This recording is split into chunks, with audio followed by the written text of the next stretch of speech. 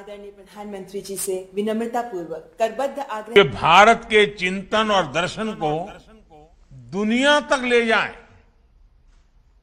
श्रील प्रभुपाद जी ने अपने गुरु के इस आदेश को अपना मिशन बना दिया और उनकी तपस्या का परिणाम आज दुनिया के कोने कोने में नज़र आता है।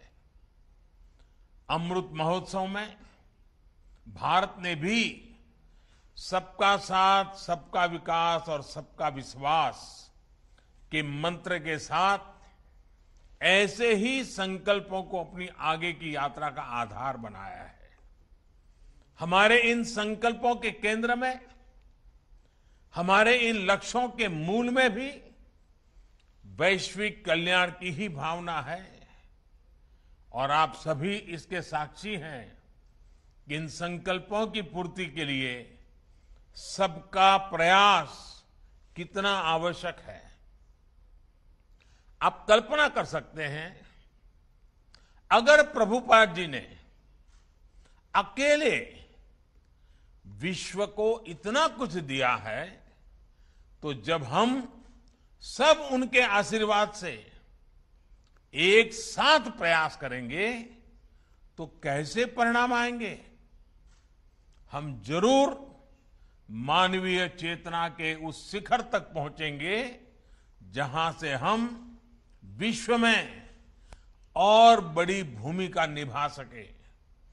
प्रेम के संदेश को जन जन तक पहुँचा सके। साथियों, मानवता के हित में भारत दुनिया को कितना कुछ दे सकता है आज इसका एक बहुत बड़ा उदाहरण है।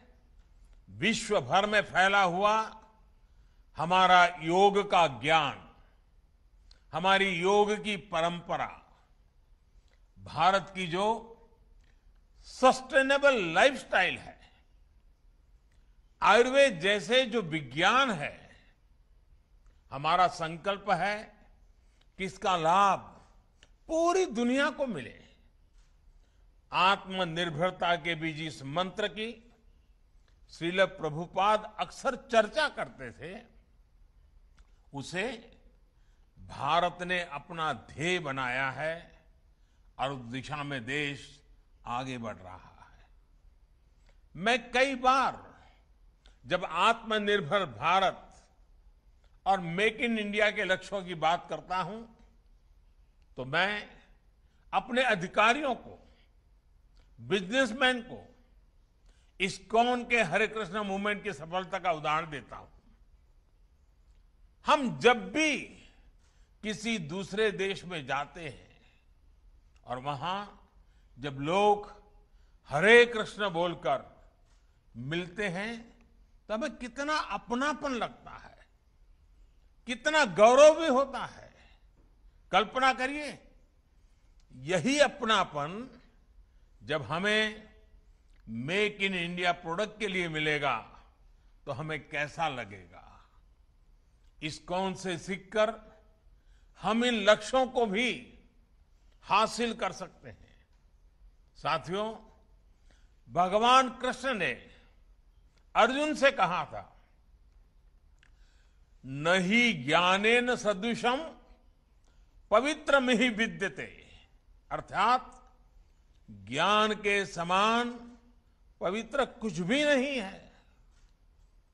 ज्ञान को ये सर्वोच्चता देने के बाद उन्होंने एक और बात कही थी। मैव मन अधस्तत्व मई बुद्धिम निवेश यानी ज्ञान विज्ञान को हासिल करने के बाद अपने मन को, बुद्धि को कृष्ण में लगा दो। उनकी भक्ति में समर्पित कर दो। ये विश्वास, ये बल भी एक योग है, जिसे गीता के बारहवें अध्याय में भक्ति योग कहा गया है। और इस भक्ति योग का सामर्थ्य बहुत बड़ा होता है। भारत का इतिहास भी इसका साक्षी है। जब भारत गुलामी के गहरे गर्त में फंस गया था। अन्याय, अत्याचार और शोषण से पीड़ित भारत अपने ज्ञान और शक्ति पर ध्यान नहीं लगा पा रहा था। तब ये भक्ति ही थी जिसने भारत की चेतना को जीवंत रखा, भारत की पहचान को अक्षुण्ण रखा। आज विद्वान इस बात का आकलन करते हैं कि अगर भक्ति काल की सामाजिक क्रांति न होती तो भारत न जाने कहाँ होता, किस स्वरूप में होता। लेकिन उस कठिन समय में चैतन्य महाप्रभु जैसे संतों ने हमारे समाज को भक्ति की भावना से बांधा। उन्होंने विश्वास से आत्मविश्वास का मंत्र दिया।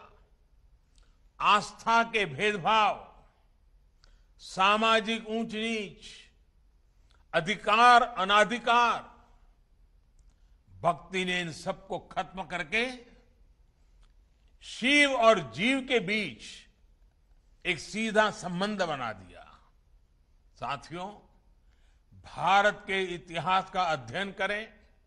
तो आप ये भी पाएँगे कि भक्ति की इस डोर को थामे रहने के लिए अलग अलग कालखंड में ऋषि, महर्षि और मनीषी समाज में आते रहे, अवतरित होते रहे। एक समय अगर स्वामी विवेकानंद जैसे मनीषी आए, जिन्होंने वेद वेदांत को पश्चिम तक पहुँचाया तो वहीं विश्व को जब भक्ति योग को देने की ज़िम्मेदारी आई तो श्रील प्रभुपाद जी और इस्कॉन ने इस महान कार्य का बिड़ा उठाया। उन्होंने भक्ति वेदांत को दुनिया की चेतना से जोड़ने का काम किया। यह कोई साधारण काम नहीं था। उन्होंने करीब सत्तर साल की उस उम्र में इस्कॉन जैसा वैश्विक मिशन शुरू किया। जब लोग अपने जीवन का दायरा और सक्रियता कम करने लगते हैं। ये हमारे समाज के लिए और हर व्यक्ति के लिए एक बड़ी प्रेरणा है। कई बार हम देखते हैं, लोग कहने लगते हैं कि उम्र हो गई, नहीं तो बहुत कुछ करते। या फिर, अभी तो सही उम्र नहीं है ये सब काम करने की। लेकिन प्रभुपाद स्वामी अपने बचपन से लेकर के पूरे जीवन तक अपने संकल्पों के लिए सक्रिय रहे। प्रभुपाद जी, समुद्री जहाज़ से जब अमेरिका गए तो वो लगभग खाली जेब थे। उनके पास केवल गीता और श्रीमद भागवत की पूंजी थी। रास्ते में उन्हें दो दो बार हार्ट अटैक आया यात्रा के दरमियान। जब वो न्यूयॉर्क पहुँचे तो उनके पास खाने की व्यवस्था भी नहीं थी। रहने का तो ठिकाना ही नहीं था। लेकिन उसके अगले 11 सालों में दुनिया ने जो कुछ देखा, श्रद्धे अटल जी के शब्दों में कहें तो अटल जी ने इनके विषय में कहा था, वो किसी चमत्कार से कम नहीं था। आज दुनिया के अलग अलग देशों में सैकड़ों इस्कॉन मंदिर है। कितने ही गुरुकुल भारतीय संस्कृति को जीवंत बनाए हुए हैं। इस्कॉन ने दुनिया को बताया है कि भारत के लिए आस्था का मतलब है उमंग, उत्साह और उल्लास और मानवता पर विश्वास। आज अक्सर दुनिया के अलग अलग देशों में लोग भारतीय वेशभूषा में कीर्तन करते दिख जाते हैं। कपड़े सादे होते हो हाथ में ढोलक, मंजीरा जैसे वाद्य यंत्र होते हैं। हरे कृष्ण का संगीतमय कीर्तन होता है और सब एक आत्मिक शांति में जूम रहे होते हैं। लोग देखते हैं तो उन्हें यही लगता है कि शायद कोई उत्सव या आयोजन है। लेकिन हमारे यहाँ तो ये कीर्तन, ये आयोजन जीवन का सहज हिस्सा है। आस्था का ये उल्लासमय स्वरूप निरंतर पूरी दुनिया में लोगों को आकर्षित करता रहा है। ये आनंद आज स्ट्रेस से दबे विश्व को नई आशा दे रहा है। साथियों, गीता में भगवान कृष्ण का कथन है अद्वेष्टा सर्वभूतानाम मैत्र। करुण एवच। निर्ममो निरहंकार। सम दुख, सुख, शमी। अर्थात, जो जीव मात्र से प्रेम करता है, उनके लिए करुणा और प्रेम रखता है। किसी से द्वेष नहीं करता, वही भगवान को प्रिय है। यही मंत्र हज़ारों सालों से भारत के चिंतन का आधार रहा है। और इस चिंतन को सामाजिक आधार देने का काम हमारे मंदिरों ने किया है। इस्कॉन मंदिर? आज इसी सेवा परंपरा के आधुनिक केंद्र बनकर उभरे हैं। मुझे याद है, जब कच्छ में भूकंप आया था तो किस तरह इस्कॉन ने लोगों की सेवा के लिए आगे बढ़कर काम किया था। जब भी देश में कोई आपदा आई है, चाहे वो उत्तराखंड की त्रासदी हो, या उड़ीसा और बंगाल में साइक्लोन की तबाही, इस्कॉन ने समाज का संबल बनने का काम किया है। कोरोना महामारी में भी आप करोड़ों मरीजों, उनके परिजनों और प्रवासियों के लिए लगातार भोजन और दूसरी जरूरतों की व्यवस्था करते आ रहे हैं।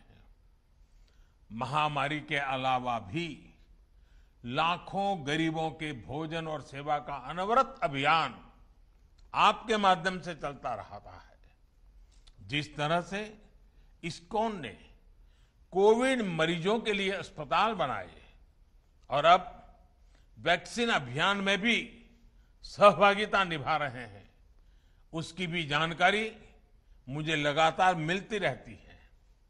मैं इस्कॉन को, इससे जुड़े सभी भक्तों को, आपके इस सेवा यज्ञ के लिए बहुत बहुत शुभकामनाएँ देता हूँ। साथियों, आज आप सत्य, सेवा और साधना के मंत्र के साथ न केवल कृष्ण सेवा कर रहे हैं, बल्कि पूरी दुनिया में भारतीय आदर्शों और संस्कारों के ब्रांड एम्बेसडर की भी भूमिका निभा रहे हैं। भारत का शाश्वत संस्कार है, सर्वे भवंतु सुखिन, सर्वे संतु निरामय। यही विचार इस्कॉन के ज़रिए आज आप सभी का लाखों करोड़ों लोगों का संकल्प बन चुका है। ईश्वर के प्रति प्रेम और जीव मात्र में ईश्वर के दर्शन यही इस संकल्प की सिद्धि का मार्ग है। यही मार्ग हमें विभूति योग विभूति योग अध्याय में भगवान ने बताया है। हमें विश्वास है कि वासुदेव सर्वम वासुदेव सर्वम का ये मंत्र हम अपने जीवन में भी उतारेंगे और मानव मात्र को भी इस एकता की अनुभूति कराएँगे। इसी भावना के साथ आप सभी का बहुत बहुत धन्यवाद। हरे कृष्ण।